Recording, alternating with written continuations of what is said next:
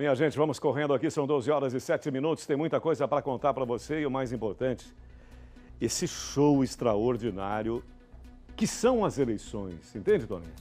É muito importante nós entendemos isso, o quanto é importante a sua participação, o quanto é fundamental o seu conhecimento, a pesquisa que você faça da vida pregressa do seu candidato, da sua candidata, o que ele tem feito, quais são os seus planos, porque nós fazemos exatamente essa democracia. A construção de toda essa democracia é nossa. E você sabe a importância de um prefeito? A importância de um vereador, de uma prefeita, de uma vereadora?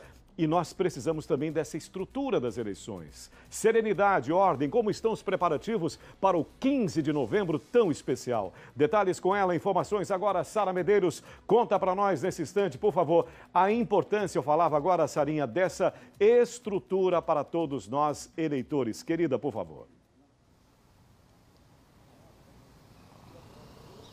Pois é, Sérgio, é um trabalho que é realizado todo o pleito, mas esse ano ele tem é, um foco diferenciado porque a gente está no meio de uma pandemia. Então, todo esse trabalho que já era realizado com todo cuidado, os cuidados foram redobrados agora no pleito do dia 15 de novembro. A Polícia Militar vai ter um efetivo aí de mais de 3 mil homens e mulheres trabalhando, esse trabalho que já vem sendo realizado e no dia do pleito, no dia 15, apenas ele vai ser intensificado. Quem está aqui conosco é o, o subcomandante da Polícia Militar de Sergipe, coordenador da segurança nas eleições, o coronel Paiva. Coronel, muito boa tarde. Hoje vocês já estavam em reunião, né?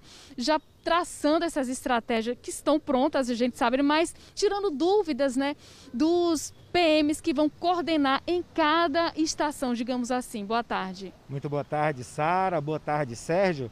Boa tarde a todos os nossos telespectadores. Na realidade, hoje é um coroamento de todo um trabalho que vem sendo realizado há vários meses quando a Polícia Militar, em comum acordo com o TRE, com o Ministério Público Eleitoral e as demais instituições de segurança pública que atuam em Sergipe, é, elaborou o plano de é, segurança das eleições 2020. Hoje nós estamos com todos os coordenadores e supervisores, todos oficiais, da chamada CPMR 3, que envolve o agreste sergipano, o médio e o Alto Sertão de Sergipe. Então, todas as zonas eleitorais têm em sua região um coordenador, que é um tenente-coronel ou major, e essas zonas eleitorais foram subdivididas em setores de policiamento, que tem à frente um tenente ou um capitão. Todos esses oficiais da CPMR-3 estão sendo orientados quanto aos detalhes do planejamento, recebendo recomendações, diretrizes do comando da instituição e da coordenação da operação e, principalmente, estamos tirando dúvidas que, porventura, ainda parem a respeito. Esse trabalho ele vai ser intensificado a partir da sexta-feira, dia 13 de novembro, mas a Polícia Militar já vem atuando aí é, nesse combate a crimes eleitorais, né? É verdade, Sara. Nós estamos já há algumas semanas atuando nos eventos é, que integram as campanhas eleitorais é, legalmente autorizadas e já registramos algumas ocorrências, inclusive, com apreensão de material e até de dinheiro com a suspeita de má utilização no desequilíbrio das eleições.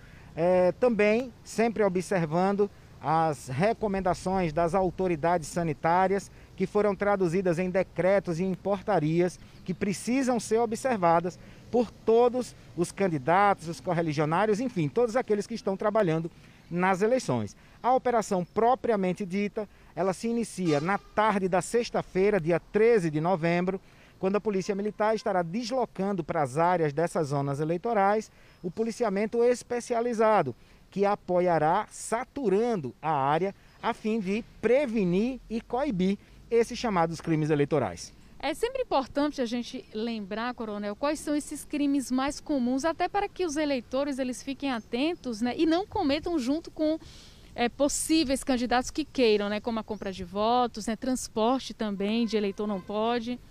Isso mesmo, né? Nós temos uma, uma legislação eleitoral que está em vigor e é rigorosa e a gente precisa lembrar que a compra de votos é crime eleitoral tanto para aquele que oferece dinheiro pelo voto do eleitor, quanto para aquele que recebe esse dinheiro com a promessa de votar em determinados candidatos, né? Como as pessoas conhecem vulgarmente, a mala preta, né? Como é conhecido vulgarmente, será coibida pela Polícia Militar, que estará distribuída em todo o território de Sergipe, atuando nas 29 zonas eleitorais em todos os municípios do estado, divididas aí em quatro CPMRs que terá à frente um coronel de polícia em cada uma delas. Coronel, e o trabalho de vocês, eles, eh, ele não encerra assim que o pleito, que a votação termina. Ele ainda prossegue na apuração e depois nas festas comemorativas?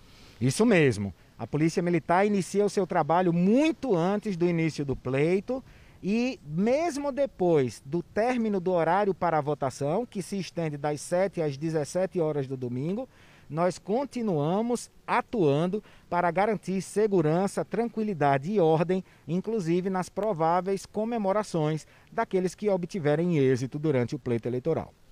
Muito obrigada pela entrevista. Boa sorte aí, porque a gente sabe que o pleito municipal ele é um pouco mais complicado, principalmente no interior do estado. A gente espera que transcorra tudo da forma mais tranquila possível. Obrigada, Coronel. Sérgio, com você no estúdio. É, é, Sarinha, são minhas as suas palavras. Somos fãs, admiramos muito o trabalho da Polícia Militar, instituição mais que necessária para a ordem, né, para que transcorra realmente muito bem esse show da democracia. Muito obrigado, querida. E o mais importante disso tudo, a responsabilidade do seu voto. Vote, vote com consciência.